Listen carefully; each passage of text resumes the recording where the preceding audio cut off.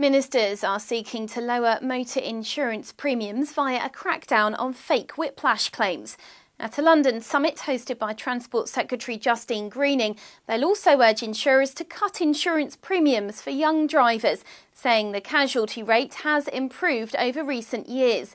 The crackdown sought by the government on whiplash comes after personal injury claims from traffic accidents rose by 70% in the past six years.